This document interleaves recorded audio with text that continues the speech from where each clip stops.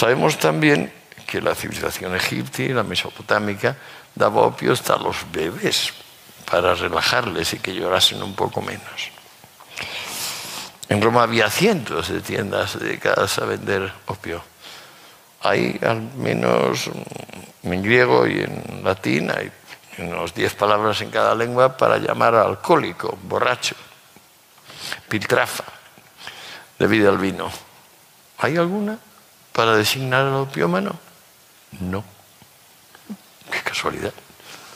Tampoco hay ninguna para designar al cannabinófilo. La única droga que preocupa antes de la entronización del cristianismo es el vino. El vino empiezan a comercializarlo a la vez fenicios y griegos, el imperio comercial que, se, que digamos culmina en la época de Da tal miedo el vino, deberíais leer, por ejemplo, El origen de la tragedia de Nietzsche, está muy bien visto eso, están recogidos los documentos oportunos. Da tal miedo el vino en aquel tiempo que nadie por debajo de los 30 años puede beberlo. Todas las mujeres están excluidas del uso de por vida, salvo que estén inscritas en el censo de rameras y paguen el correspondiente impuesto, en cuyo caso son libres y pueden hacer lo que les dé la gana.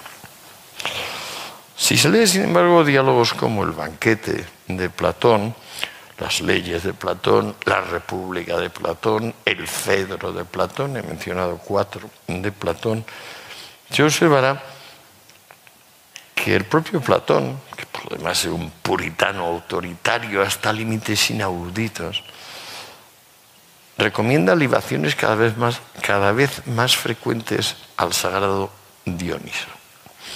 Eso quiere decir ir bebiendo más según se va uno haciendo más viejo. Es un consejo que yo desde luego acojo con placer eh, eh, eh, y voy a demostrar con los actos.